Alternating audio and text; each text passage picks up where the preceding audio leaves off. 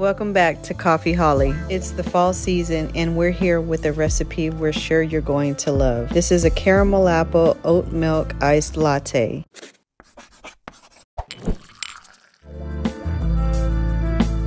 Here's what you're going to need. Any milk or milk alternative of your choice. Here I'm using oat milk. Since we're making a latte, we're going to need 3 4th cups or 6 ounces of the oat milk. Monin caramel apple butter syrup, or I made some homemade brown sugar syrup, but you can use Torani's cinnamon brown sugar syrup. Two Nespresso single shot espresso capsules.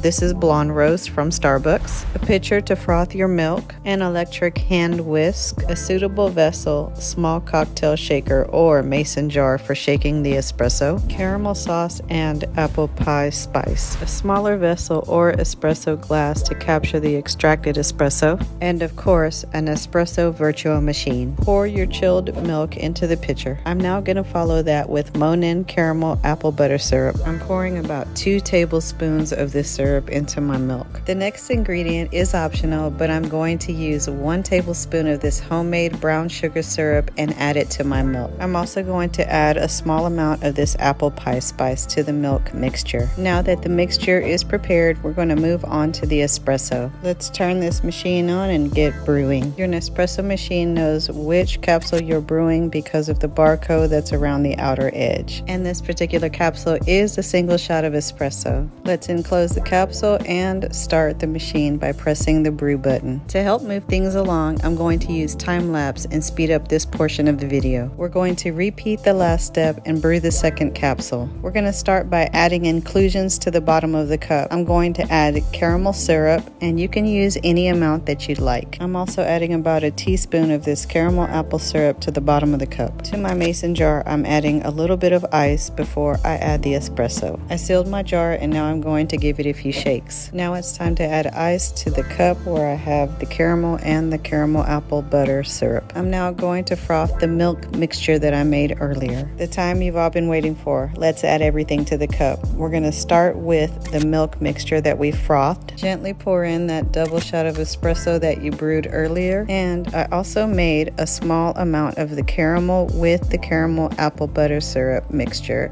to make a drizzle. So I'm going to add it to the top of the cup and drizzle it over the foam. The last thing I'm going to do is dust a little bit of the apple pie spice on top of the caramel drizzle. If you love apples and especially apple crisp, you're going to enjoy this drink. If you recreate this drink or make a version of your own, please let us know what you think in the comments below. If you'd like to see more coffee videos, please be sure to subscribe to our channel. Until next time, Coffee Holli fans.